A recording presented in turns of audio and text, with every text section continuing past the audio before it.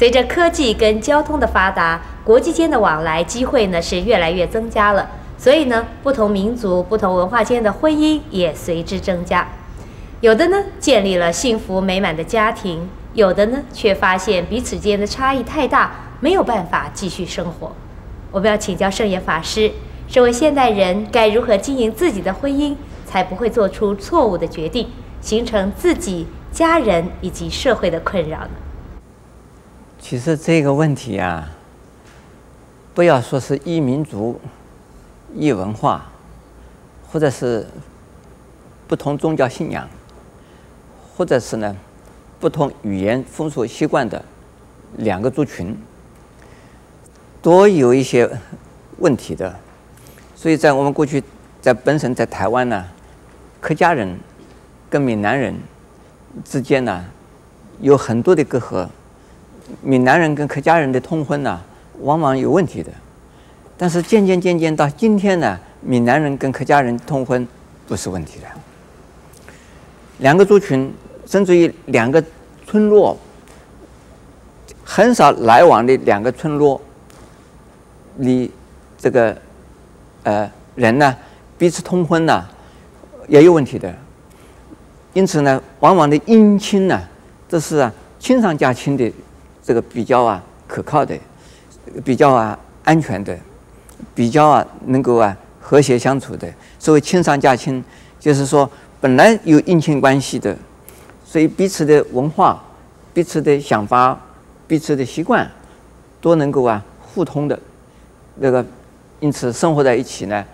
没有什么大问题。否则的话呢，这个都有问题的。呃，那我们呢，再讲到今天的，所以是国际的婚姻呢，也未必见得国际婚姻就是就是有问题的。看一看你这个丈夫。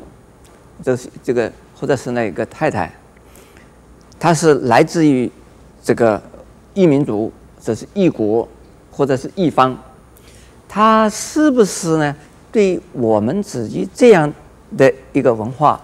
的社会的背景，能够适应，能够学习，能够愿意呀，来入方随俗，到我们这个地方来就。来过我们的生活，就像我是从中国大陆来的，到了台湾，愿不愿意接受台湾的风俗习惯、民风？愿不愿意接受？如果我不能接受，我在这个地方啊，要想弘法成功，大概有问题。因此，西方的有很多天主教徒、天主教的神父，或者是啊基督教的牧师，他到台湾的山地、偏远的地带。他那那那个那些地方啊，他能够啊生存，能够啊传教，他是首先能够要适应和了解这个投合当地人的文化和当地人的生活，要了解当地人在想什么，当地人要什么，在完全了解了以后，他传他的宗教的时候容易传了。那我到台湾来，最初也对台湾也是不清楚的。渐渐渐渐，我跟台湾人之间呢，现在没有人台湾人把我当成当成外省人看了，因为我自己没有觉得自己是外省人，我自己认同台湾，台湾的各种族群呢，对我来讲，多少好像是是我自己的人一样，就是跟我一样的人，我没有觉得你们这是台湾人，那因此台湾人也没有把我当成了外省人，所以结婚的婚姻也是一样的，婚姻呢，你。不管是娶这个呃外国太太，或者是一个异族的太太，或者是你嫁了一个异族的太老公，或者是呃嫁了一个外国的老公，没有什么问题。只是说你是不是能够接受他，他能不能够接受你？不仅仅是接受你这个人，不仅仅接受你这个肉体的人，而是接受你这个人，他你的文化、你的文化的背景、你的宗教的信仰的。背景和你的生活习惯的背景，他能不能接受？还有呢，你能不能接受他？你要了解他。如果还没有接受他以前呢，你也需要了解他，了解他，你能够接受他的话呢，也没有问题。所以是异国的婚姻之所以呀不能够圆满的原因，这彼此不认同，彼此排斥，不是排斥人，而是啊排斥他的呀生活习惯和啊思想观念和啊这个呃呃文化的背景。如果这些都能够认同，都能彼此彼此谅解，说我认同你的，你也认同我的，你能尊重我的，我也能尊重你的。彼此虽然可能呢，你信你的天主教，我信我的佛教，但是你尊重我，我尊重你，但是这个问题没有。现在有好多家庭啊，原来他们两个家家庭的夫妇两个都是天主教徒，结果呢，其中一个信了佛教了，他的另外一个配偶啊，还是信了原来宗教，那我就叫他们呢，要要要认同他们，接受他们。不要排斥他们，那彼此才能够啊互相的容忍呐，互相的相处。否则的话，你夫妻啊，就是因为宗教而产生在家里边的夫妻两个人吵架，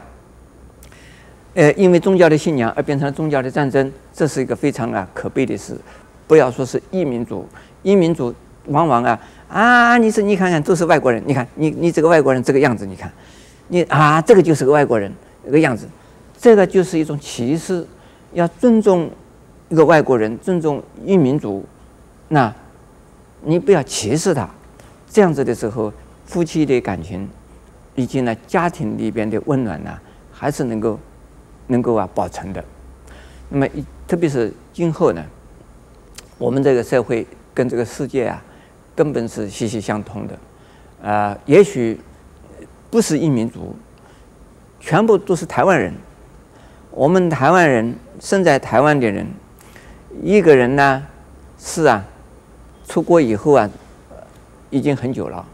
一个从来没有出国过的人，他们两个人受的教育程度啊完全不一样。一个呢受的教育程度很低，一个受的教育程度很高，这两点也有问题。还有呢，两个人受的教育程度都很高，但是呢，你是学的这个呃另外一个呃。一种范围的学问，它是另外一个专门。这个两个专门呢，彼此是对立的、对抗的，那也有问题。如果那个互相的尊重，彼此的能够啊，呃，认同对方、尊重对方，那不管是什么民族、什么样的情况的婚姻，都会是美满的。阿弥陀佛。